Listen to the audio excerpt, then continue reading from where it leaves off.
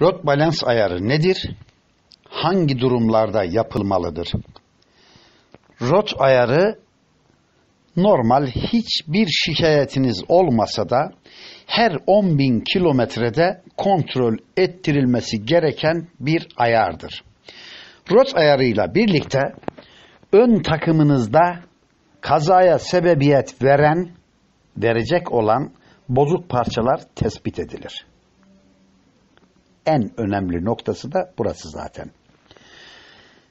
Ve bu bozuk yollarda, kasisli yollarda zaman zaman rot ayarı kendiliğinden bozulabilen bir ayardır.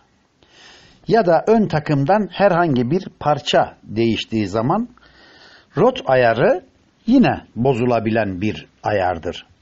Ve bunları e, ön takımdan herhangi bir parça değiştirdiğimiz zaman 10.000 kilometreyi tabii ki beklemeden hemen rot ayarına gitmemiz icap ediyor.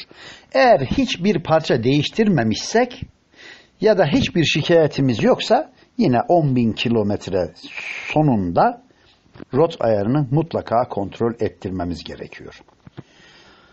Rot ayarının bozulduğunu bir sürücü nasıl hisseder? Bir sürücü şu şekil hisseder. Araçla normal otobanda seyrederken araç sizin kontrolünüzün dışında sağa sola gezme, dalma yapar. Tek tarafa çekme yapar. Hatta uzun yolda bu sizin kolunuzu yorabilir. Çünkü siz hep araba sağa çekiyorsa direksiyonu sola doğru tutuyorsunuz elinizle. Bu uzun yolda kolunuzu da yorar. Sürücüyü hayli bir rahatsız eder. Sağa sola çekmesi ya da bir tarafa çekmesi, arabanın yolda sağa sola dalıp gezmesi, lastiği biçimsiz bir şekilde aşındırması, ya içten ya dıştan yemesi.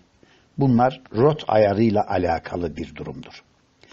Balans ayarı ise balans ayarı lastik ve janta uygulanan bir ayardır. Nedir balans? Dengedir, terazidir. Yani bir tarafı hafiftir lastiğin, bir tarafı ağırdır. Hafif tarafına kaç gram hafifse o kadar kurşun çakılır jantın kenarına ve bu denge sağlanılır. Bu dengesizlik ne yapar? Eğer dengesiz devam ediyorsa, dengesizlik devam ediyorsa hızlı dönerken arabanın altında dönüyor sonuçta yolda giderken. Hızlı dönerken bayağı bir ibrasyon yapar. Titretir. Arabayı titretir. Bu durumlarda balansın bozuk olduğunu hemen anlarız. Arabamızda bayağı bir titreme olur. Balans ayarı ne kadar bir zamanda gerekir? Balans ayarı eğer normal şartlar altında kullanılıyorsa o da 10 bin kilometrede gerekir.